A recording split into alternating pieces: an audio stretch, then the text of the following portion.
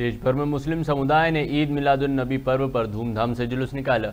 जुलूस में band party के साथ आतिशबाजी की गई और धूमधाम से सरकार की आमद में महरबा के नारे लगाए गए।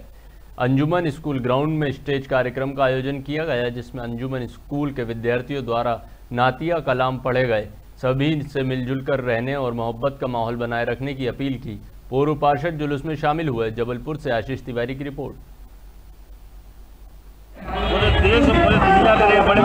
खुशी का का माहौल है।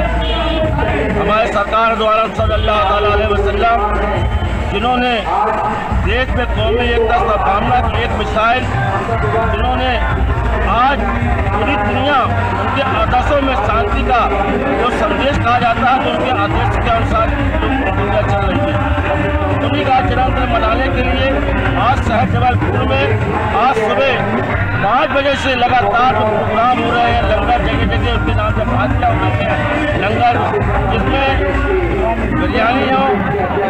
फल फलूट हो हो शरबत हो जिससे जो बन सकता, हज़ारों की तादाद में लोग लंगा बांट रहे हैं। और आज जुलूस दो बजे से उठ चुका है, जो अभी अभी पाँच, साढ़े पाँच बजे बड़े जुमा में समापन होने वाला है। के मौके पर